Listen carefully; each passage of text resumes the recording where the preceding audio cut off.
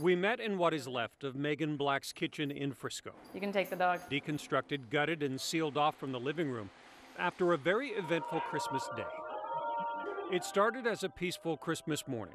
Kelly Clarkson and Pentatonix on the radio, keeping things calm for two home alone dogs.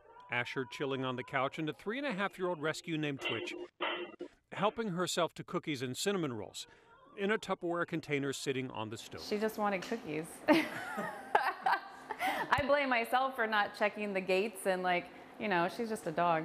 Megan was 20 miles away. Her home security system alerted her to the fire that started next. And she just pushed so perfectly on the knob, pushed and turned, and lit that middle burner.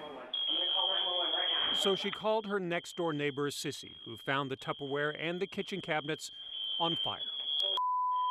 I'm watching it in real time, and I can't do anything about it. It's, it was like the most helpless feeling ever. Come on, dog. Come on.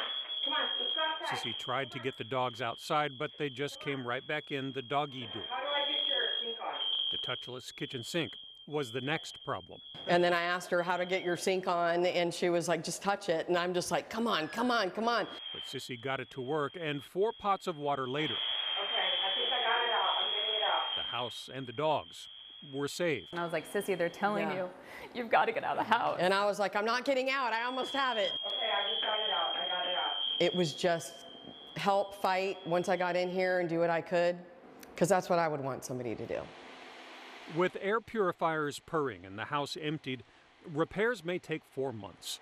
But the dogs are safe, the house still stands, and Megan is thankful for very good neighbors. I just keep telling her how thankful I am. I don't think you can say thank you enough. Yeah. I mean, she saved my house. And a very curious and hungry dog, she saved her too. In Frisco, I'm Kevin Reece.